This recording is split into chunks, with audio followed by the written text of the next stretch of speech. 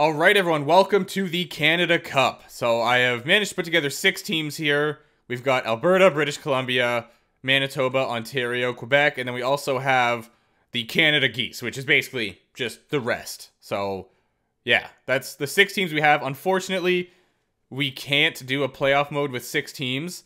And on top of that, there's a Spengler Cup that has six teams, but can't do it because you can't substitute the teams, which is super lame. But anyway, yeah, um, let's have a quick look at the rosters here just to show you guys. So here's Alberta. I will do best lines for all of them just to be sure. There you go. Here's the offense for Alberta. It's okay. You know, it, it could be like an NHL team, honestly. It really looks like an NHL team. Defense, very solid. Morrissey and Makar as a top pair. Cale Makar. And then in net, we have Carter Hart and Aaron Dell. Okay, next up, we have British Columbia. Have a quick look at their team here. Best lines, boom. So yeah, they have a pretty solid first line. Nuge, Benn, and Connolly on the second line there. And again, this kind of just looks like it could be an NHL team. Uh, defensively, they are pretty stacked as well. They might even be a little bit more stacked. Uh, it's hard to say, but either way, both teams have really good defense regardless. And then in net, they got Carey Price and Tristan Jarry. So a very good goaltender there for them. And let yeah, sure, let's check out the rest of Canada for now. I was gonna kind of skip them and come back to them last, but it doesn't really matter. So we got Marchie Crosby and Nate Mack, the Nova Scotia Legends. Um, Eberle, Schenn, Schwartz. So yeah, they have a solid team here for sure. Murray and Dumba as a top pair, and again, uh, I'd say above average defense. And then they have Darcy Kuemper and Jake Allen. Next up, we have Manitoba with Morgan Geekie, who was just taken by the Seattle Kraken in the expansion draft. And this is definitely the weakest team, I would say, by looking at this. And I'm pretty sure overall wise as well. Uh, defense, we've got Keith and Pulock as a top pair. And again, still pretty good defensive core. And then in net, we do have Driedger and Reimer. So two fairly solid goaltenders there. Ontario is obviously going to be completely stacked. We got Stamkos, McDavid, and Marner as the first line. I'll just do best lines again to be sure. And in net, we got Blackwood, Binnington. I forgot to show the defense, but there's the defense. And also, if we go to scratch, there is just a ton of players there as well. So, yeah, they are not lacking players, that's for sure. Quebec, another solid team here. Let's do best lines. So we got Huberdeau, Bergeron, and Marchessault on the first line. So very good first line and a very solid overall offense. On defense, we've got Chabot and Letang. And once again, a, well, yeah, I'd say it's just an above average defensive core with a very good top two. And then in net, we have Flower and Bernier. Let's check out the scratch players just so I can show you there. And yeah, so that's that. Uh, just in case, I'll show you the scratch players of these teams as well.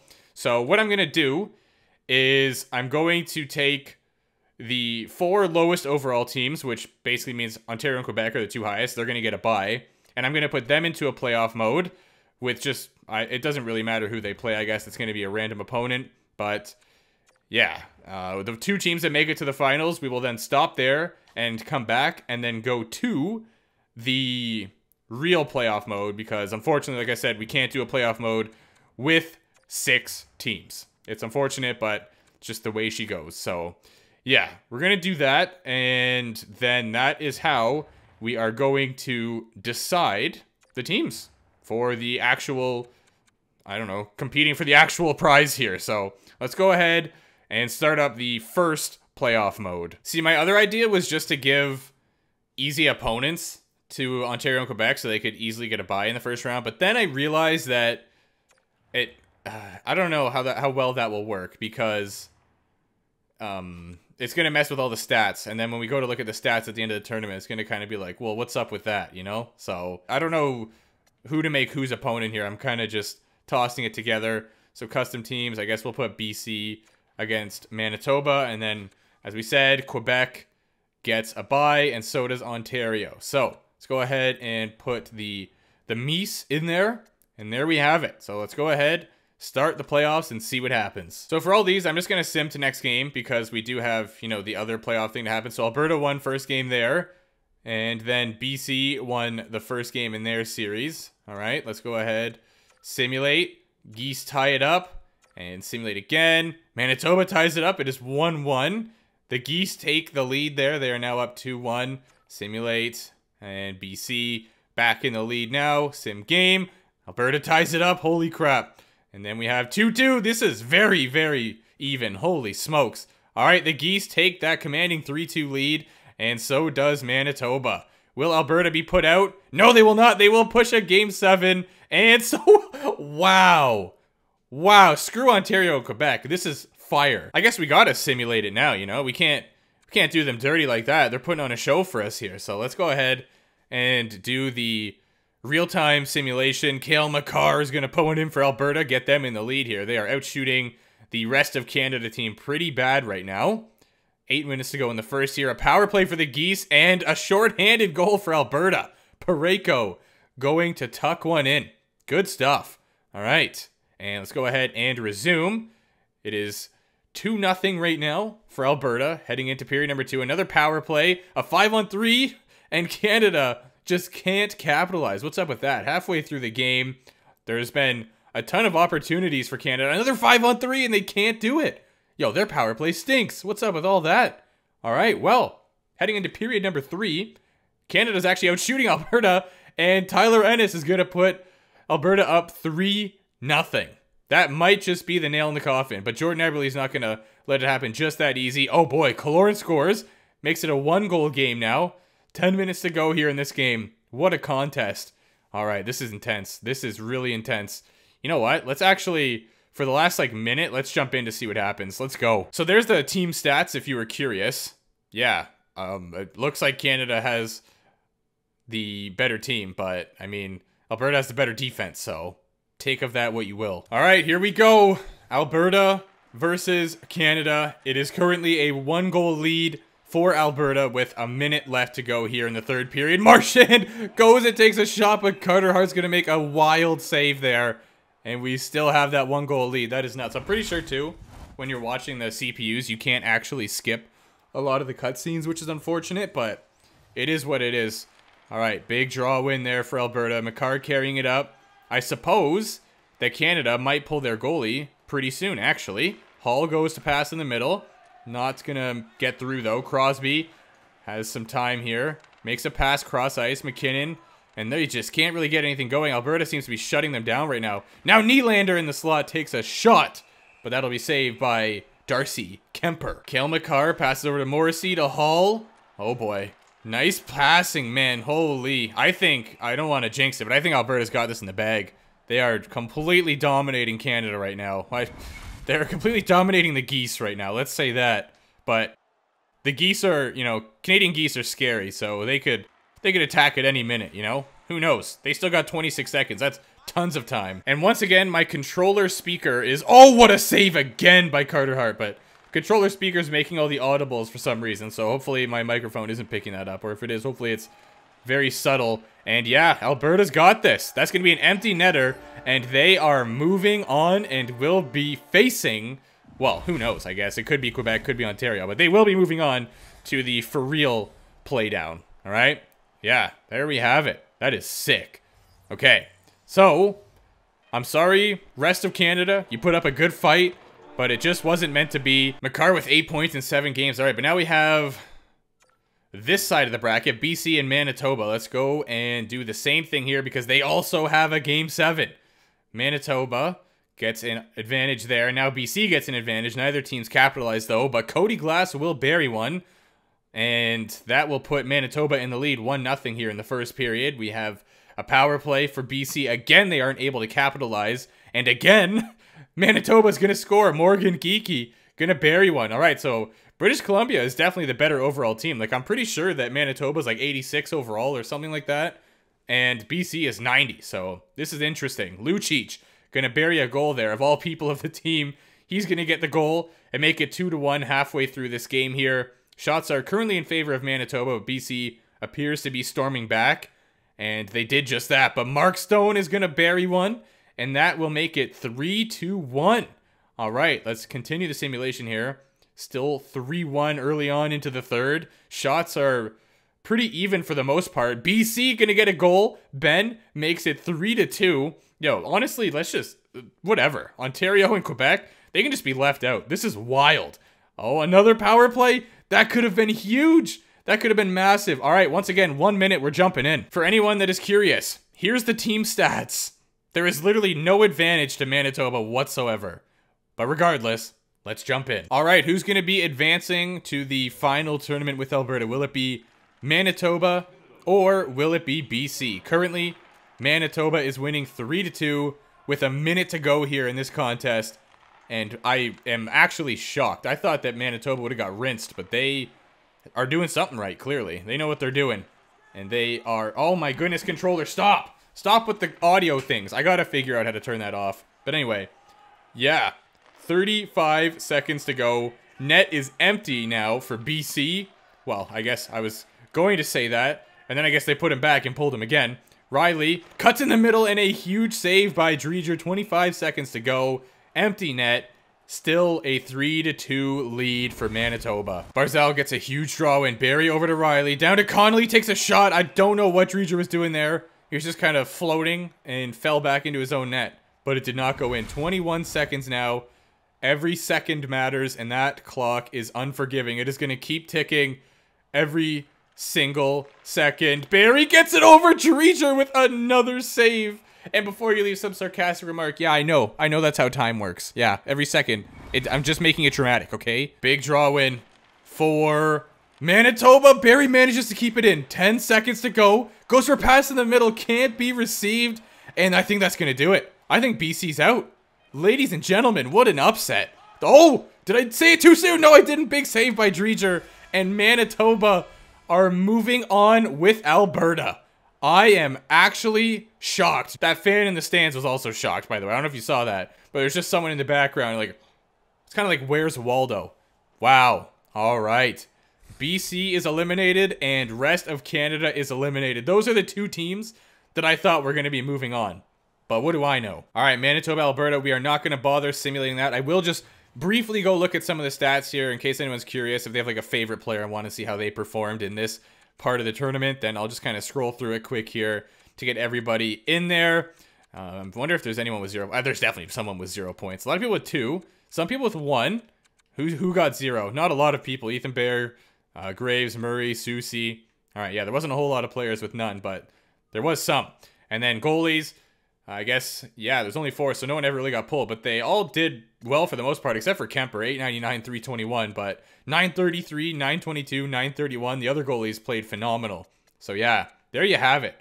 Absolutely shocking, but Alberta and Manitoba are moving on. I already know that my voice is just going to be gone after this one, which is upsetting. All right, if Manitoba manages to pull this one off, I am going to be blown away. So yeah, the Otters versus the Moose over there. And then we will have the Nordiques versus Alberta Aces. I know it's not very creative. But anyway, yeah, so let's do it. Let us do it. I'm going to do the same thing I did and only simulate in the elimination games. So sim to next game. And Ontario's up 1 nothing. That is really not surprising at all. Sim to next game. Alberta takes game number one. All right, sim to next game. 2 nothing for Ontario. Sim to next game. 2 nothing for Alberta. All right. Well then, sim to next game, and we do have a victory for Manitoba. Good for them. Boom, 2-1. Quebec coming back now. And 3-1 for Ontario, so we will jump into the next game. 3-1 for Alberta. Man, that team. What is going on? All right, well, this is the elimination game, potentially. It is 3-1 for Ontario. Let's do the simulation speed at 8 times and see what happens here. Come on, Manitoba.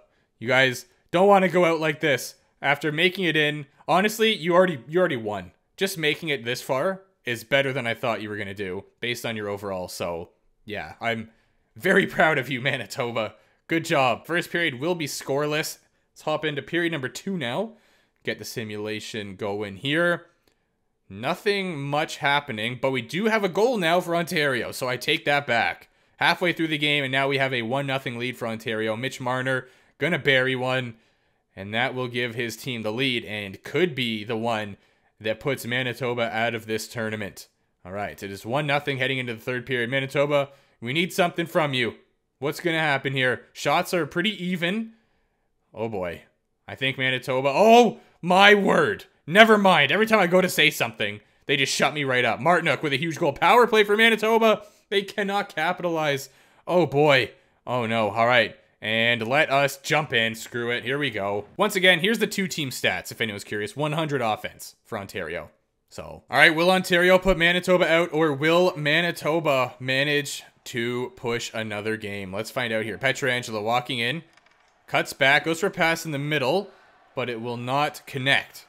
Come on, Manitoba. I'm kind of, I'm honestly, you guys probably know at this point I'm from Ontario, kind of rooting for Manitoba. Love me a good underdog story. Now the real question is, will this one end up going to overtime or will we see a winner before that? I sort of have a feeling we're going to get a goal before overtime, but I really have no idea, obviously. Pietrangelo walking in, goes, what a deke! Pietrangelo is, um, dirty dangler, apparently. Gets the puck taken off of him. Cody Eakin, oh go, Severson, carrying it up the ice. Here comes Manitoba. Over the line, goes for a pass. That'll be picked off by Tom Wilson. Horvat now carrying it up the wing. Getting bullied by Ryan Reaves there. Holy crap. Just kept pushing him off the puck. Manitoba in over the line. And we have a delayed penalty for Ontario. It is going to be a power play for Manitoba. Six seconds to go in this one. It is a 1-1 hockey game. That's a huge win for Ontario. All right, we are headed to overtime with a 1-1 hockey game here and with Manitoba on the brink of deletion. I don't really get what's with the orange jumpers in the crowd and the pink jumpers, but whatever, I guess. Cool. Here comes Ontario. They are currently shorthanded, but they are not playing like it. But Manitoba will get sort of a lucky bounce, what seemed like there, and they are carrying it out. Gets hit off the puck. Giordano's gonna bury it down. Yo, I literally thought I was playing goalie be a pro for a second, and I like was ready to hit the middle button to go back and try and play the puck. Wow.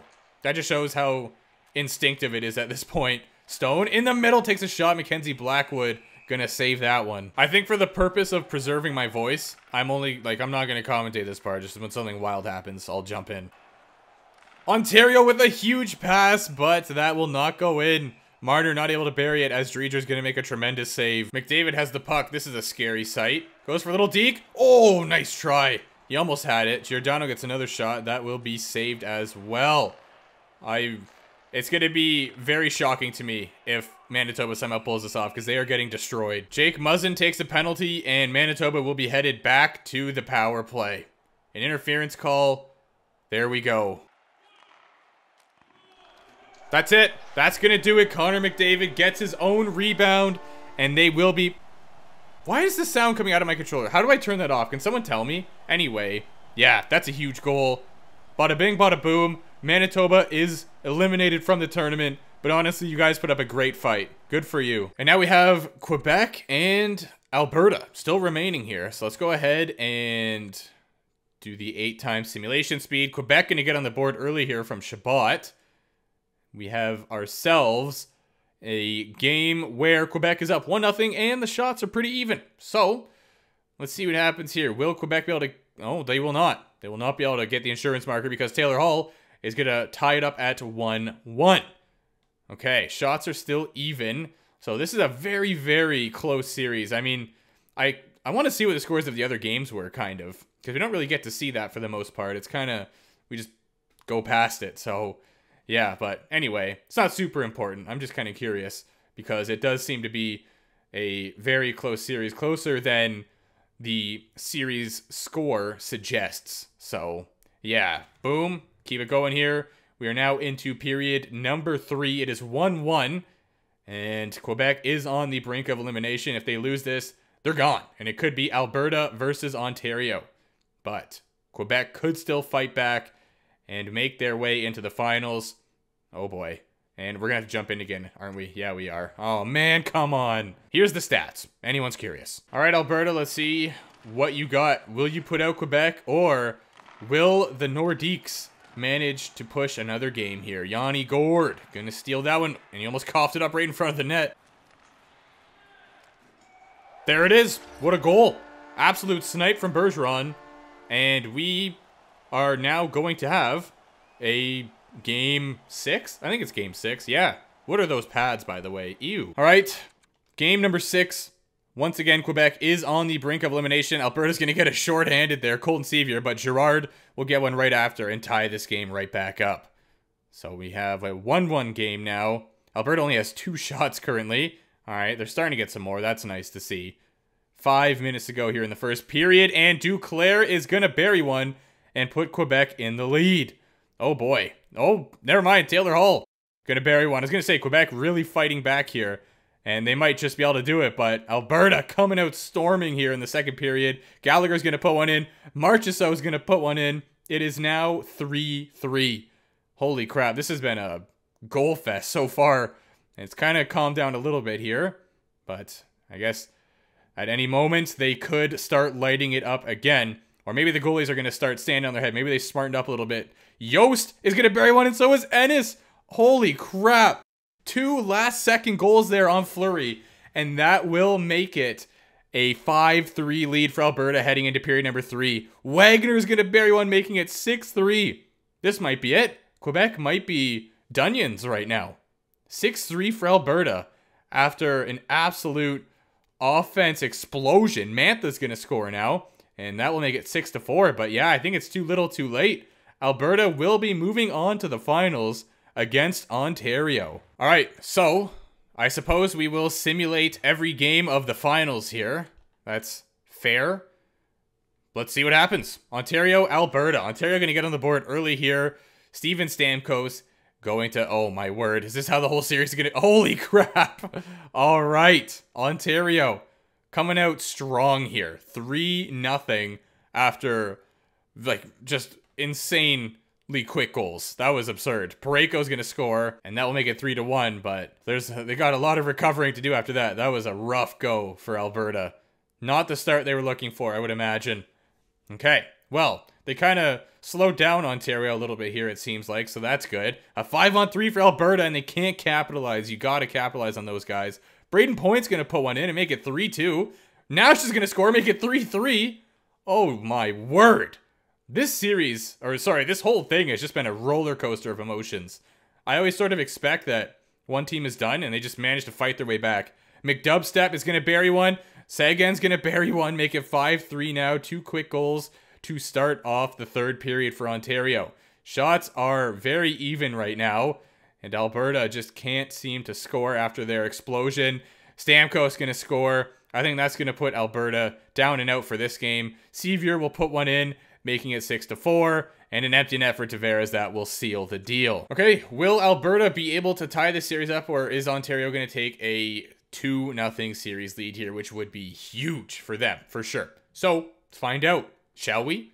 Alberta not really keeping up in the shots department right now, but they're keeping up in the goals department. It is 1-1. Nash has been an all-star for this team, I tell you, man. Holy smokes.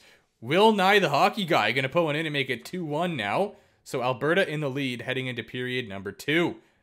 Kirby Dach going to score, make it 3 1. Alberta with the insurance marker now as we approach the halfway point of this game. Jake DeBrusk going to put one in and make it 4 1. They are pulling away here, folks. Alberta is. Wow. I really underestimated Alberta. Cale Makar is going to put one in and make it 5 to 1. McDavid finally gets on, on the board for Ontario there. I'm I'm stuttering a lot, by the way. I don't know what's going on but it's early and my brain is just not working properly. So just ignore me. Horvat's going to put one in, make it 5 to 3. We are now halfway through the third period. Still a two goal lead for Alberta here. Will Ontario be able to come back and tie it up, or will the series be 1 1? And it looks like the series is going to be 1 to 1. Oh, yes, it is. That that got real close. I'm kind of curious as to how long this video is going to be. I feel like it's going to be real. How long have I been recording for? I've been recording for only 42 minutes. That's not that bad. I thought it'd be longer than that. Interesting. All right.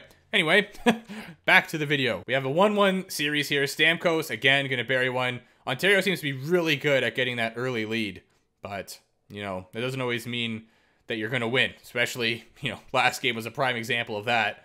Alberta came back and just dummied them after that. Spurgeon's going to put a goal in here and make it 1 to one. Heading into period number two. Yep, it looks like it. All right, 1 1 hockey game, period number two. And Gallagher will score early on to make it 2 to 1 for Alberta. Wow, man. I am literally shocked. I thought Ontario was going to dummy, but they're definitely putting up a fight here, Alberta, to say the absolute least. In fact, they are really, you know, they, they could legitimately win this at this point. But Marner will tie it up, make it 2-2. We have a tie game heading in to the third period. This is a crucial game as well. Sceviour again. Holy crap, that guy is lighting it up in this as well. Him and Nash are two players that I didn't really expect to do as well as they're doing, honestly. They are insane. Shots are in favor of Alberta for sure right now. And there's only three minutes. Will they take a 2 to 1 series lead? And they will. Alberta, right now, 2 to 1 in the finals here. We can also see that McDavid has 16 points in 8 games, so getting 2 points a game on average. That's pretty solid. Simulate this game. Will Alberta be able to take a 3-1 series lead? That would be absurd.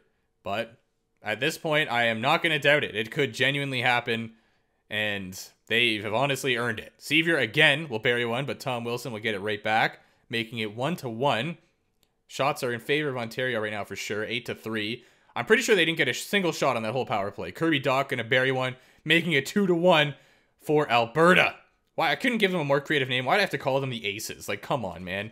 All right, here we go. 3-1. Taylor Hall going to put one in within the first minute there. Giroux going to jump back, though, real quick and make it 3 to 2.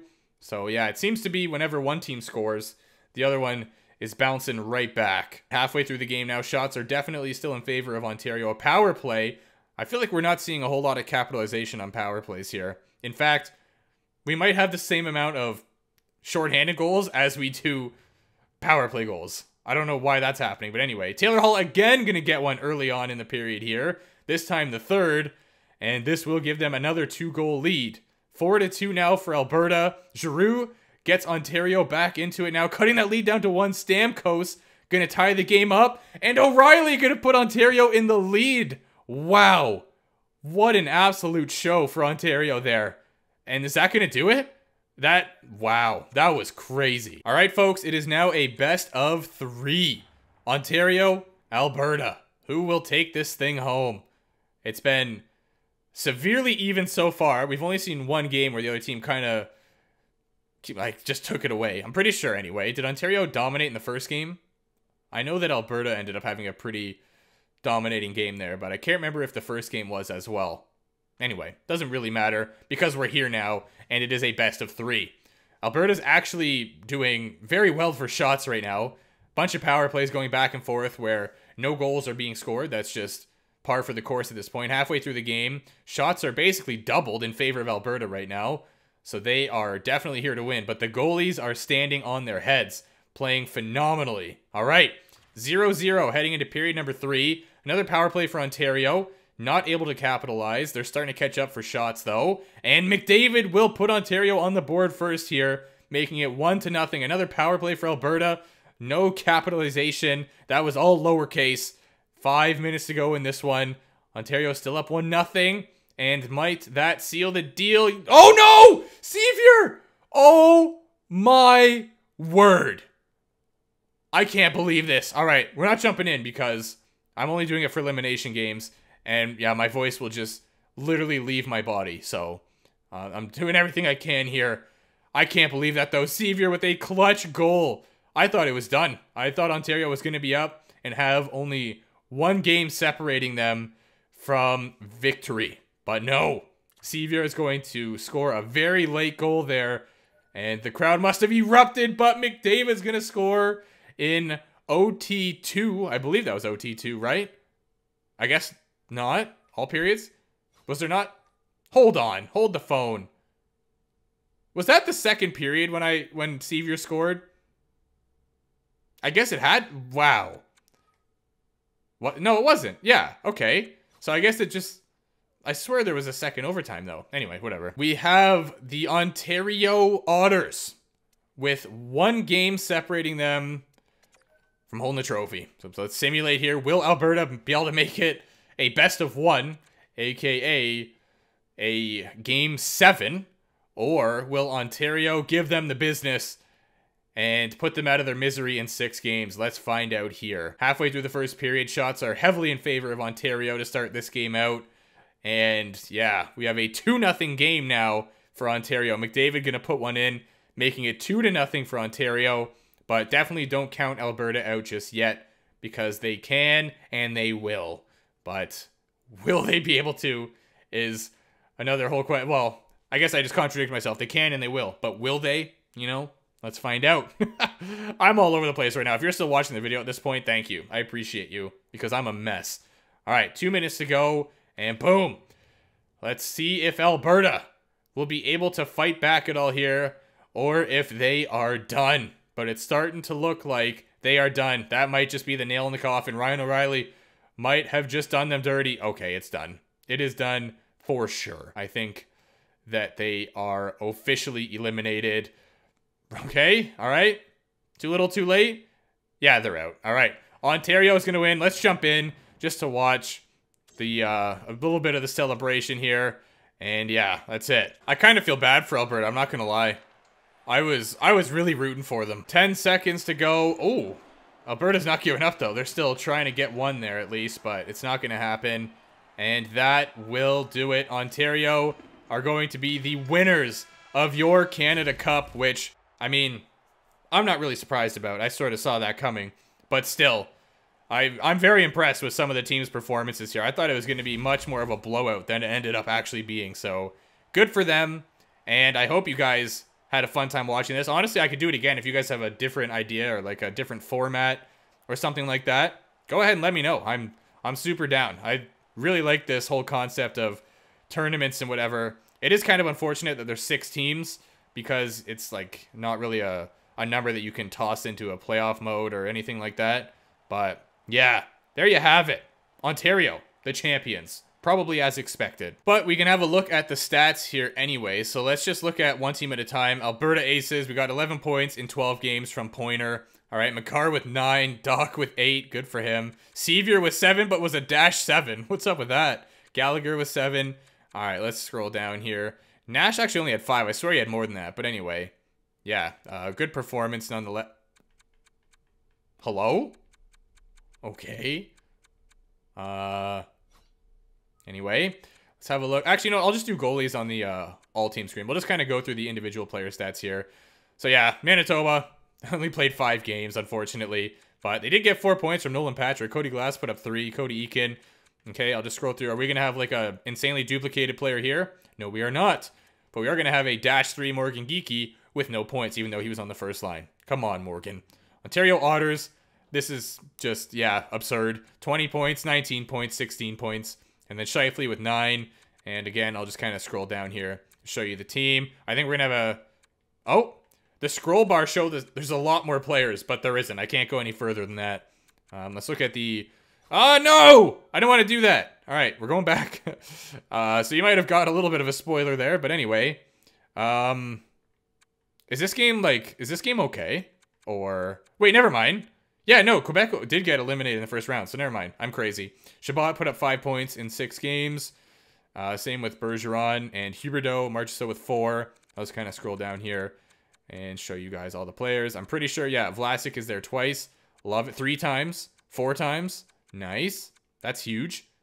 Big if true. And then, in, no, wait a minute. Hold on.